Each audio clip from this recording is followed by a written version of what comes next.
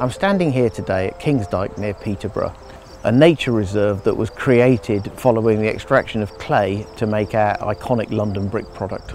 Clay extraction here finished in the 1990s and since then it's been put back to nature. In fact in 2018 it was named the most biodiverse wildlife area in the UK.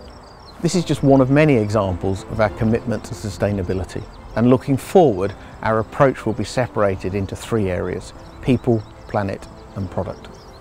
People are our most important asset and it's important that we continue to invest in people, particularly bringing young people into our business and training them. We also work with colleges and other educational establishments to help train young bricklayers to install our products after we've made them.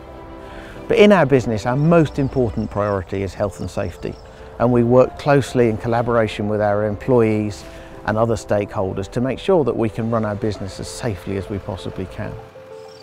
We're committed Living Wage Foundation employer and we work well with local charities and community groups. Put simply, our goal is to make sure that we are not only a good neighbour but also a decent employer. From planting trees to increasing our recycling to putting in car chargers at our offices and using more electric plant and equipment in our factories. All of these things are really important, along with buying energy from renewable sources. Top of the list at the moment is plastic. We need and we are working on reducing the amount of plastic packaging that we use. It's these commitments that have helped us over the last few years reduce our carbon intensity, reduce the amount of mains water that we use and significantly reduce the amount of waste that we put to landfill. The products we make today are extremely durable, very long lasting and require little or no maintenance. This makes them inherently sustainable. However, we don't stop there.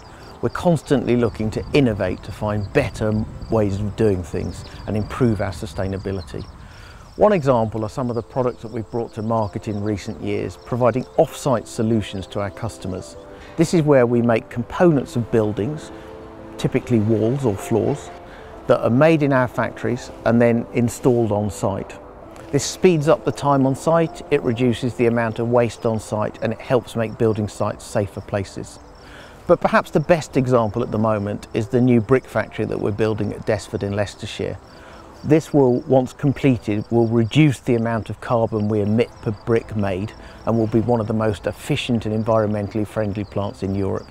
These three pillars of sustainability will help guide our decision making for years to come. There's a lot of work to be done, but as a business, we're ready for that work. You can trace Forterra's history back for over 150 years, with many generations of the same family having worked for this business. So we've got more reason than most to make sure that we leave us a legacy for generations to come.